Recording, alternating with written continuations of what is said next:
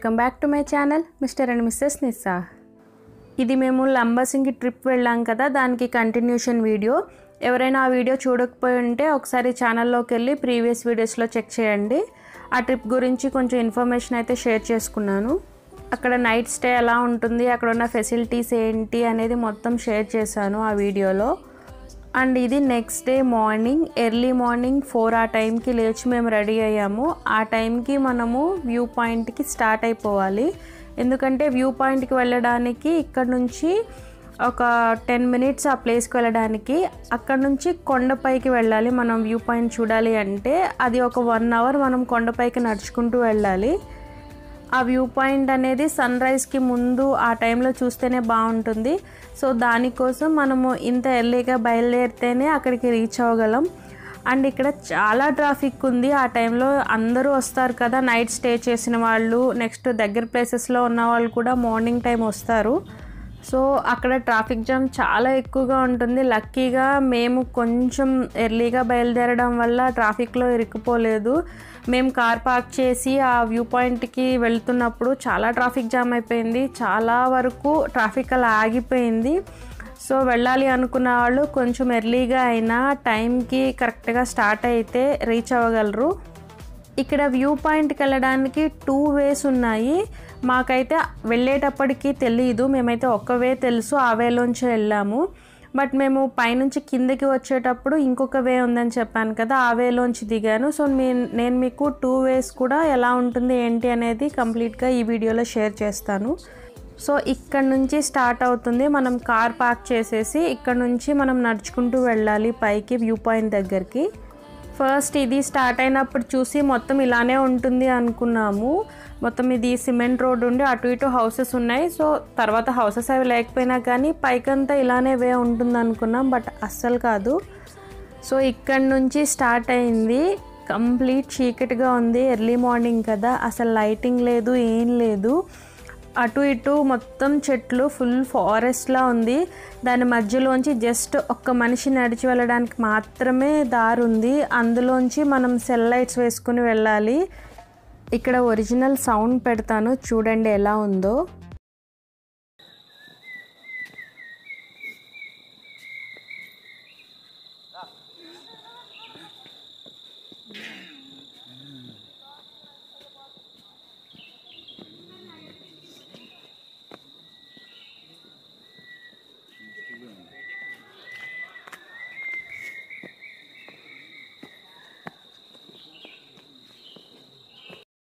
విన్నారు కదా కంప్లీట్ సైలెంట్గా ఉండి బర్డ్ సౌండ్స్ వినిపిస్తుంటే చాలా బాగుంది.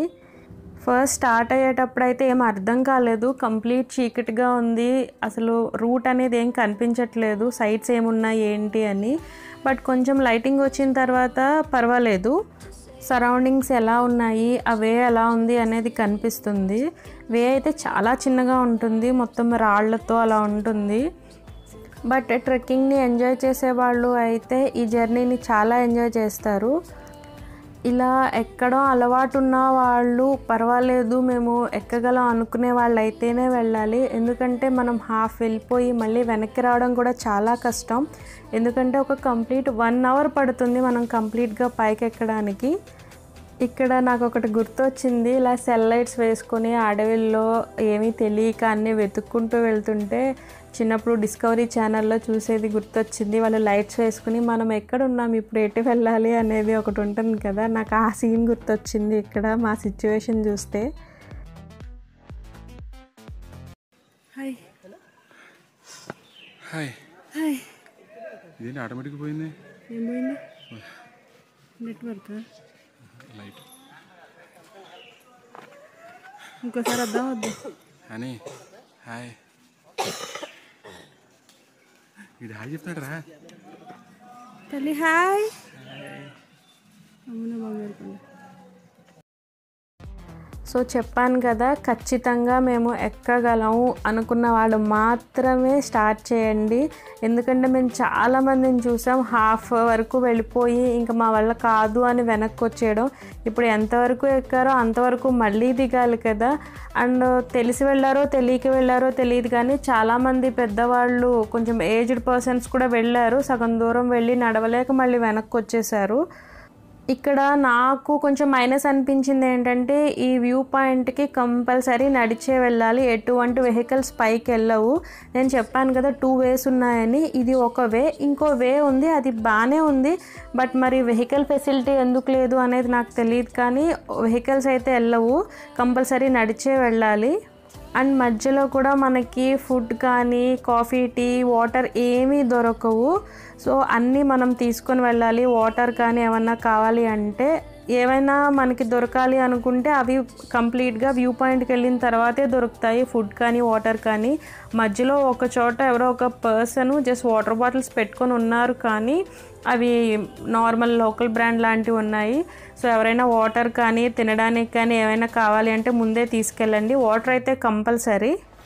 అండ్ పైన కూడా మనకి దొరకడానికి బేసిక్ అంటే చిప్స్ వాటరు మ్యాగీ ఒకటి చేస్తారు అంతే. ఇంకా ఏం దొరకవు. అంటే ఎర్లీ మార్నింగ్ వెళ్తాం కదా కొంచెం నీరసం వచ్చేస్తుంది ఏమీ తినుండం కాబట్టి సేఫ్ సైడ్కి ఏమైనా తీసుకెళ్తే బెటర్.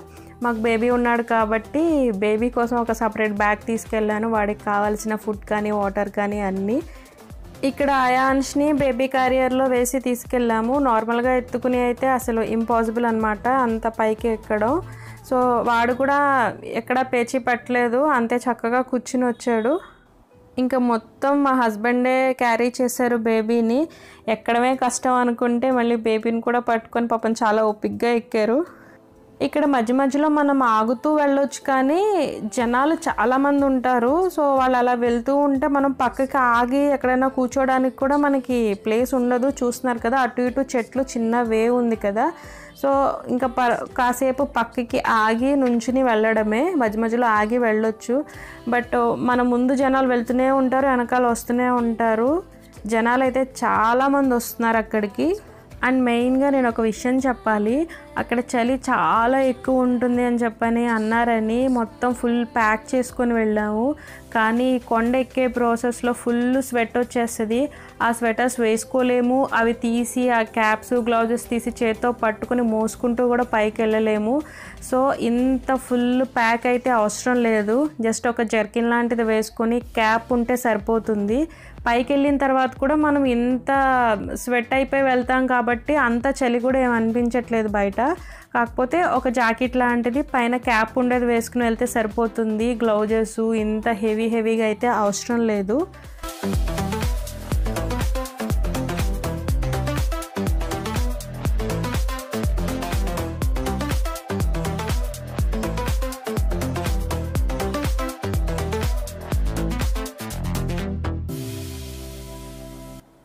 అండ్ ఇక్కడ వ్యూ పాయింట్కి అయితే రీచ్ అయిపోయాము. కరెక్ట్గా ఒక వన్ అవర్ పడుతుంది. మనం ఆగుతూ నడుస్తూ వస్తే మేము ఒక టూ త్రీ ప్లేసెస్లో ఒక ఫైవ్ మినిట్స్ ఆగామంతే నేను అసలు అనుకోలేదు ఇలా ఉంటుంది అని. పైకి వచ్చిన తర్వాత అక్కడ హౌసెస్ కూడా ఉన్నాయి. ఒక టూ త్రీ హౌసెస్ ఉన్నాయి. వాళ్ళు కొన్ని ఇక్కడ కోళ్ళు మేకలు ఆవులు వాటిని పెంచుతున్నారు. అండ్ ఇక్కడ ఎంట్రీ టికెట్ కూడా ఉంది ఈ వ్యూ పాయింట్ చూడడానికి. వీళ్ళు ఇక్కడ కొన్ని సేల్ చేస్తున్నారు. చిన్న చిన్న స్పైసెస్ లాంటివి చిన్న పప్పులు ఉంటాయి కదా అలాంటివి అమ్ముతున్నారు ఇక్కడ వాళ్ళు. కానీ వీళ్ళు ఇక్కడ ఎలా ఉంటున్నారు అనేది నాకు అర్థం కాలేదు. ఎందుకంటే ఏం కావాలన్నా అన్నీ కింద నుంచి తెచ్చుకోవాలి కదా. బట్ వీళ్ళు కావాల్సినవన్నీ ఎలా తెచ్చుకుంటున్నారో ఏంటో నాకు అర్థం కాలేదు. అండ్ ఇక్కడికి వచ్చిన తర్వాత అసలు మెయిన్ విషయం ఇక్కడ ఎంతమంది క్రౌడ్ ఉంటారని మేమైతే అసలు ఎక్స్పెక్ట్ చేయలేదు. ఎంతమంది ఉన్నారో అసలు ఇంత క్రౌడ్ ఉంటారని తెలిస్తే అసలు మేము వెళ్ళేవాళ్ళం కాదు.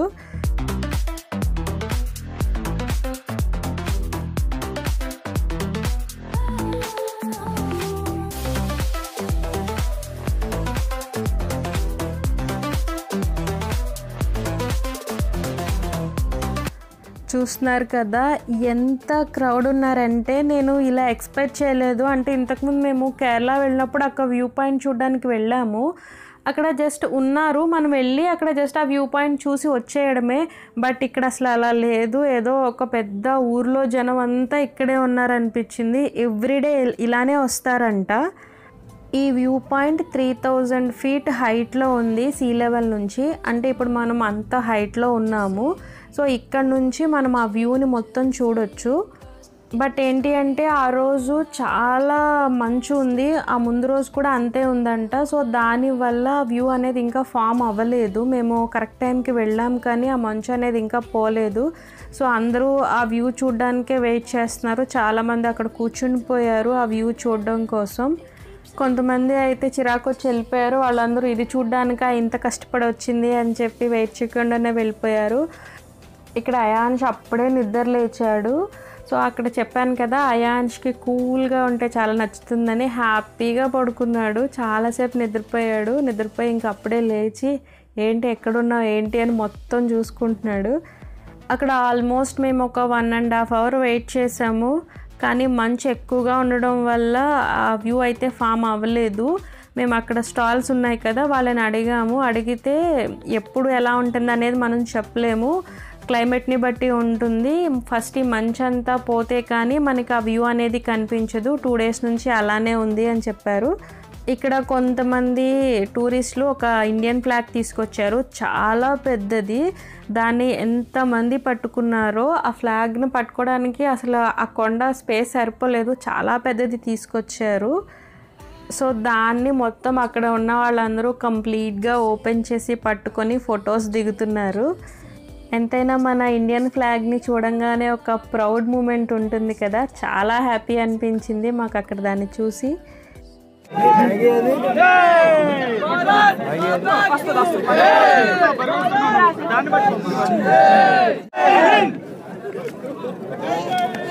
జై హింద్. జై హింద్. జై హింద్. జై హింద్. సరే సరే నువ్వు కూడా నువ్వు కూడా అందుకు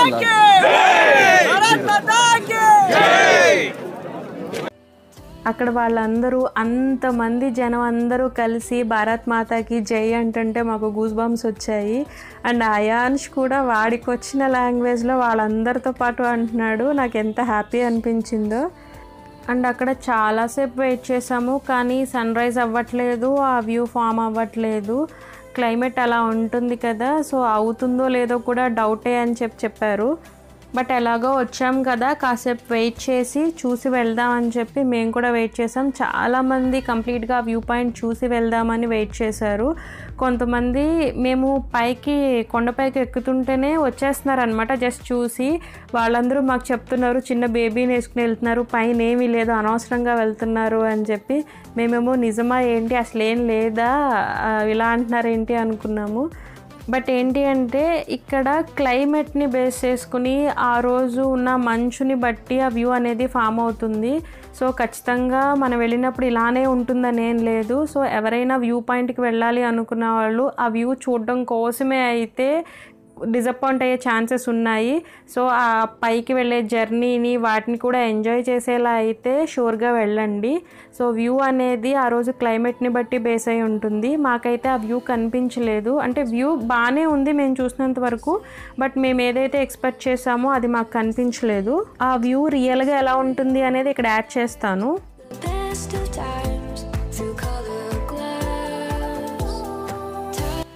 సో ఇది యాక్చువల్గా వ్యూ ఇలా ఉండాలి. బట్ ఆ రోజు ఆ ముందు రోజు క్లైమేట్ కరెక్ట్గా లేకపోవడం వల్ల ఆ వ్యూ ఫామ్ అవ్వలేదు. సో మేమైతే ఆ త్రూ అవుట్ జర్నీని బాగా ఎంజాయ్ చేసాము ఫన్ చేసాము. చెప్పాను కదా ఆ మొత్తం ఎంజాయ్ చేసేలా అయితేనే వెళ్తేనే బాగుంటుంది. ఆ ఒక్క వ్యూ పాయింట్ కోసం వెళ్తే ఇన్ కేస్ మనం వెళ్ళినప్పుడు ఫామ్ అవ్వకపోతే చాలా డిసప్పాయింట్ అవుతారు. అండ్ ఇందాక చెప్పాను కదా ఈ కొండపైకి వెళ్ళడానికి టూ వేస్ ఉన్నాయని. ఒకవేళ మేము పైకి వచ్చాము ఇప్పుడు రెండో వే నుంచి కిందకి వెళ్తున్నాము. సో రెండు రూట్స్ తెలిస్తే అసలు ఎలా ఉంటుంది ఏంటి అనేది మాకు ఒక ఐడియా ఉంటుందని రెండో రూట్ నుంచి కిందకి వెళ్తున్నాము. బట్ ఏంటి అంటే ఇక్కడ కొంచెం ఆ ఏరియా తెలిసిన వాళ్ళు అయితే ఒక రూట్ నుంచి ఎక్కి ఒక రూట్ నుంచి దిగినా పర్వాలేదు కానీ ఇక్కడ కొత్తగా ప్లేస్కి వెళ్ళే వాళ్ళైతే ఏ రూట్ నుంచి పైకి ఎక్కారో ఆ రూట్ నుంచే దిగండి. బికాస్ కార్ పార్కింగ్ అక్కడే చేస్తారు కాబట్టి ఒక రూట్ నుంచి పైకి ఎక్కి ఇంకో రూట్ నుంచి కిందకి దిగితే కార్ పార్కింగ్ కోసం మళ్ళీ చాలా దూరం వెళ్ళాల్సి ఉంటుంది. బట్ మాకు ఈ ఏరియా కొంచెం తెలుసు మాకు తెలిసిన వాళ్ళు ఉన్నారు కాబట్టి మేము ఒక సైడ్ నుంచి పైకి వెళ్ళి ఇంకో సైడ్ నుంచి కిందకి వస్తున్నాం. ఈ కిందకి వెళ్ళే రూట్ అయితే బాగుంది. మేబీ పైకి వెహికల్స్ వెళ్ళడానికి ఏమైనా రూట్లా వేస్తున్నారేమో. అంటే క్లియర్గా తెలుస్తుంది అక్కడ. అది రోడ్ వేస్తున్నట్టు. మట్ రోడ్లా ఉంటుంది మొత్తం. ఇక్కడ మొత్తం ఎండ వచ్చేసింది ఆ టైంకి. చెప్పాను కదా ఆ వ్యూ ఫామ్ అవుతుందేమోనని మేము చాలాసేపు వెయిట్ చేసాం. సన్ రైజ్ కోసం కూడా వెయిట్ చేసాం కానీ సన్ రైజ్ అయిపోయింది. ఒకేసారి ఆ మంచు మొత్తం పోయి ఇంకా కంప్లీట్ క్లియర్ స్కై వచ్చేసింది. మాకు మేఘాలు అయితే ఏం ఫామ్ అవ్వలేదు. మేఘాలు ఫామ్ అయితే మనం ఆ కొండ మీద నుంచి చూస్తే మేఘాల పైన మనం ఉన్నట్టు మనకి ఆ వ్యూ కనిపిస్తుంది. ఇందాక నేను బిట్ యాడ్ చేశాను కదా అందులో మీకు క్లియర్గా అర్థమవుతుంది. అండ్ ఈ రూట్ చాలా నీట్గా ఉంది. అంటే ఇంతకుముందు రూట్ లాగా రాళ్ళు ఇలా ఏం లేదు నీట్గా ఉంది. కానీ ఈ రూట్ కిందకి దిగడానికి అస్సలు కరెక్ట్ కాదు. ఎందుకు అని అంటే ఇది నీట్గా ఉన్న రూట్ చాలా స్లోప్ ఉంది. వీడియోలో ఇలా ఉంది కానీ మనం నడుస్తుంటే ఒక్కొక్క అడుగు చాలా జాగ్రత్తగా పట్టి పట్టి వేయాల్సి వస్తుంది. ఎందుకంటే జారిపోతుంది షూ. ఒక్కసారి మనం షూ స్కిడ్ అయింది అంటే మనం దిగక్కర్ లేకుండా కిందకి వెళ్ళిపోతాము. అలా ఉంది రోడ్ మొత్తం.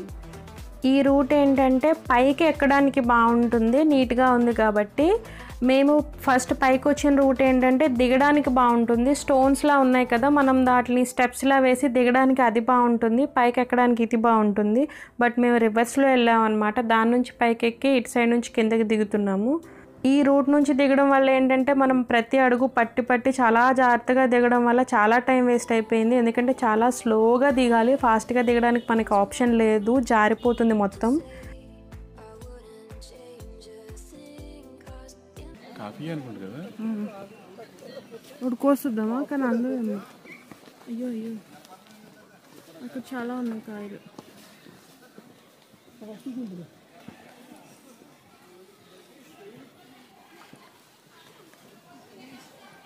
కదా? కానీ మనకు ఒక్కటి కూడా అందేలా లేదు. ఇక్కడ రోడ్కి టూ సైడ్స్ మొత్తం కాఫీ తోటలు ఉన్నాయి మరి వాటిని ఎలా ప్రాసెస్ చేస్తారో తెలియదు కానీ వాటికి చిన్న చిన్న కాయలు ఉన్నాయి రెడ్ కలర్లో ఉన్నాయి. అవి కాఫీ చెట్లు అంట అక్కడ అసలు అవి చూడడానికి కాఫీలానే లేదు. బట్ వాళ్ళందరూ చెప్తున్నారు ఇవి కాఫీ సీడ్స్ తయారు చేస్తారు వీటితో అని. కాదు ఇంకోసారి అక్కడ కోయండి వెనకాల దొంగ దొంగ అని అండ్ ఇక్కడ మా హస్బెండ్ కొన్ని అసలు అవి ఎలా ఉంటాయి ఏంటి కోసి చూద్దాము. ఇవి నిజంగా కాఫీ సీడ్సా కావునా కాదా అని చెప్పి వెళ్ళి కొన్ని కాయలు కోసుకొచ్చారు. ఇటు సైడ్ ఉన్నాయి కానీ అవి మనకి అందట్లేదు. సో కొంచెం కిందకి దిగి వెళ్ళి ఆ కాయలు అవన్నీ కోసుకొచ్చారు.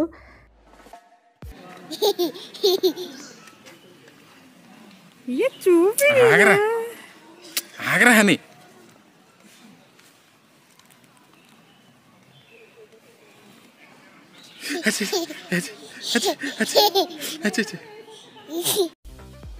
చూసారు కదా అవేంటో రెడ్ కలర్ కాయల్లా ఉన్నాయి. మరి వాటి నుంచి కాఫీ ఎలా చేస్తారో తెలియదు కానీ చూడడానికి అయితే బాగున్నాయి. సో ఇలా మేము కొంచెం ఫన్ చేసుకుంటా హ్యాపీగా మా వ్యూ పాయింట్ ట్రిప్ అయితే అయిపోయింది. చెప్పాను కదా దేనైనా ఎంజాయ్ చేసేలా ఉంటే మనం వెళ్ళడానికి బాగుంటుంది. సో మాకు అక్కడ వ్యూ పాయింట్ అనేది చూడలేకపోయినా కానీ పైకి ఎక్కి దిగడం కొంచెం ఎంజాయ్ చేసాము ఇక్కడ మనం ఎన్ని తెలుసుకుని వెళ్ళినా కానీ ఒక్కొక్కసారి అన్ఎక్స్పెక్టెడ్గా జరుగుతూ ఉంటాయి. సో అలానే మేము చాలామందిని కనుక్కొని చాలా ప్రిపేర్డ్గా వెళ్ళాము. అంటే మేము ఏమైతే అవసరం ఏమైతే తీసుకెళ్ళాలి అలాంటి వాటిలో ఏం జరగలేదు కానీ ఇక్కడ వ్యూ పాయింట్ కానీ వెళ్ళే వే కానీ కొన్ని కొన్ని మేము ఎక్స్పెక్ట్ చేసినట్టు లేవు. సో అవన్నీ కూడా షేర్ చేసుకుంటే ఈ వీడియో చూసిన వాళ్ళు ఎవరికైనా యూజ్ అవుతుంది అని కంప్లీట్గా నేను చెప్తున్నాను. ఇక్కడ నుంచి కనిపిస్తుంది కదా కిందకి మనం ఇప్పుడు అంత కిందకి దిగి వెళ్ళాలి. కిందకి వచ్చేసరికి నాకైతే నీరసం వచ్చేసింది. పైన తిన తినడానికి కూడా మ్యాగీ ఒక్కటే ఉంది. అది కూడా ఏంటంటే వాడు ఒక పది ఇరవై ప్యాకెట్లు కలిపి ఎగ్ వేస్ట్ చేసేస్తున్నాడు. సపరేట్గా మా ఒక్కరికి చేస్తారా అంటే అలా చేయడానికి కుదరదండి. టైం పడుతుంది అన్నారు. అంతే అక్కడ అంతమంది క్రౌడ్ ఉన్నారు కదా ఒక్కొక్కరికి చేయడానికి వాళ్ళకి కుదరదని అందరికీ కలిపి చేసేస్తున్నారు. సో ఇంకా మేము తినలేదు. అక్కడ ఫుడ్ అయితే కూడా ఏమీ దొరకదు. సో కంపల్సరీ ఏమన్నా కావాలి అని అంటే వాటర్ కానీ ఏదన్నా బిస్కెట్స్ మీరే తీసుకెళ్ళండి. కిందకు వచ్చిన తర్వాత కూడా ఫుడ్ ఉంది కానీ అది అస్సలు బాగాలేదు అని చెప్పాను కదా మేము ఒక వే నుంచి పైకి వెళ్ళి ఒక వే నుంచి కిందకి దిగామని మా కార్ అటు సైడ్ పార్క్ చేసి ఉంది. సో ఇటు నుంచి మళ్ళీ అక్కడికి వెళ్ళే ఓపిక లేక మేము ఇక్కడ ఎవరిదో ఒక హౌస్ ఉంటే కాసేపు కూర్చుంటామండి. కార్ వచ్చేంత వరకు అంటే కూర్చోమన్నారు. ఇల్లు అయితే భలే ఉంది. ఎంత చల్లగా ఉందో రేకుల షెడ్ అయినా కానీ. మట్టి ఇల్లు నాకు ఎంత నచ్చిందో ఇల్లు అందుకనే చిన్న వీడియో తీసుకున్నాను. సో మా ట్రెక్కింగ్ అయితే ఇలా జరిగింది. కొంచెం ఎక్స్పెక్ట్ చేసిన విధంగా ఉంది కొంచెం ఎక్స్పెక్ట్ చేయని విధంగా ఉంది అనుకున్నది ఒకటి జరిగింది ఒకటి అనమాట బట్ మేమైతే చాలా ఎంజాయ్ చేసాము ఈ వ్యూ పాయింట్ అయిపోయిన తర్వాత strawberry farms water falls and rope way ఇవన్నీ ఉన్నాయి. ఆ ప్లేసెస్ కూడా మేము చూసాము సో అక్కడ కూడా ఎలా ఉంటుంది ఏంటి అనేది మాకు ఎలా ఎక్స్పీరియన్స్ అయిందనే ఇన్ఫర్మేషన్ మొత్తం మీతో షేర్ చేసుకుంటాను. సో పైకి ఎక్కి దిగేసరికి ఫుల్గా టైర్డ్ అయిపోయాము. అయాన్ షొక్కడు తప్ప వాడికి అలసట అనేదే తెలీదు. మామూలుగా కూడా అంత యాక్టివ్ వాడు. మేము మాత్రం ఫుల్ టైర్డ్ అయిపోయాం. మా ఫేసెస్ చూస్తేనే మీకు అర్థమవుతుంది. సో ఇది మా ట్రెక్కింగ్ ఎక్స్పీరియన్స్. ఈ వీడియో కనుక మీకు నచ్చితే లైక్ చేయండి షేర్ చేయండి. నా ఛానల్ని సబ్స్క్రైబ్ చేసుకోండి. Thanks for watching. Have a nice day.